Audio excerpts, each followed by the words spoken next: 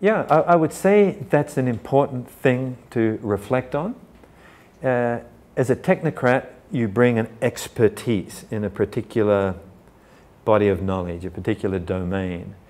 And that expertise can be uh, valued if that's the problem that your community is dealing with at that particular moment in time.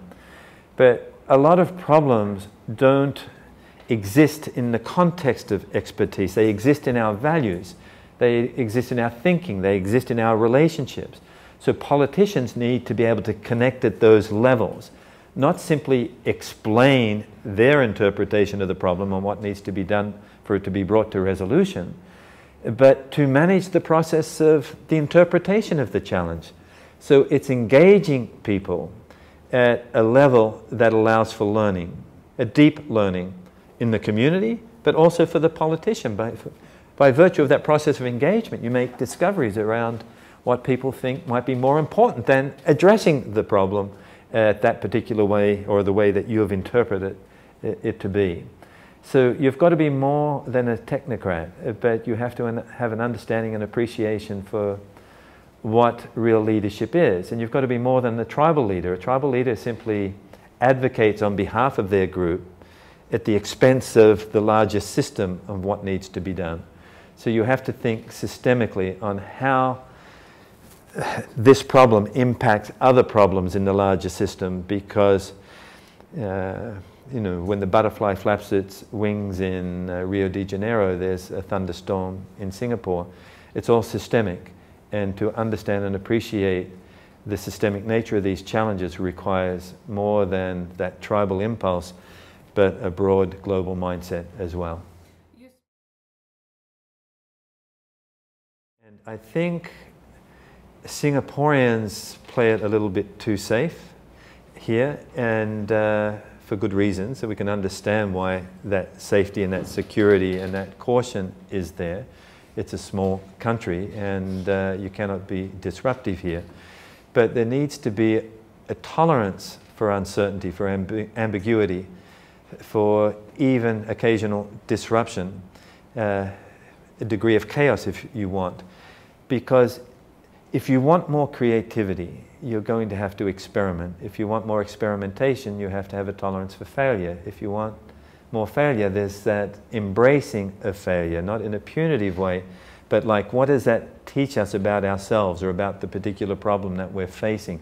What do we learn? In other words, the breakdown reveals what you don't know that allows for some kind of breakthrough to occur. But if you're playing it safe and you're working or leading in the confines of your boundaries, and there's too many kind of rules and regulations, formal or informal, people aren't going to go to the frontier. They're not going to step across. They're not going to experiment they're not going to try something differently.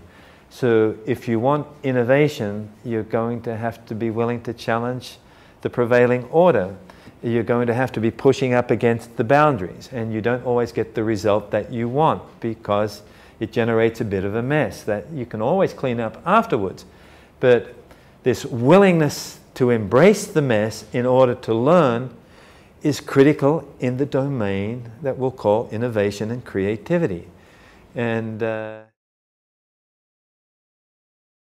and so you're orchestrating a learning process. And if you cannot get a community learning fast enough, the danger is that you're not going to be addressing the critical problems that you're facing. And if those problems persist, it can lead to the demise of that institution or even that society. It can lead to collapse. Uh, Jared Diamond has written a great book about that collapse, why societies choose to succeed or fail, because they could not learn fast enough. They saw a problem, they didn't respond in the right way, or they ignored that problem. They persisted in doing what they were always doing, and by virtue of that persistence, uh, it led to an apathy and an arrogance that culminated in their demise. We see that in companies, uh, whether it's on Wall Street in the United States, and we also see it in communities and societies. What's critical here is to orchestrate, stimulate a process of learning, of discovery. And in that process of learning and discovery, It's helping people make sense of what's going on, but it's also conducting the experiments to figure out how do we best respond to these challenges. So developing a capacity, a tolerance for that is critical leadership work in institutions and societies. Or else, uh, if the dominant authority figures are always stepping in as the boundary keepers to tell people, don't worry, I'll handle it, everything's okay, get on with your life, and not allowing people to kind of feel the heat of these problems, uh, that would be an indication to me that it's uh, weak leadership. Real leadership is not simply telling people that, you know, I know what the problem is and I know the answer now, depend on me and, and I'll figure it all out.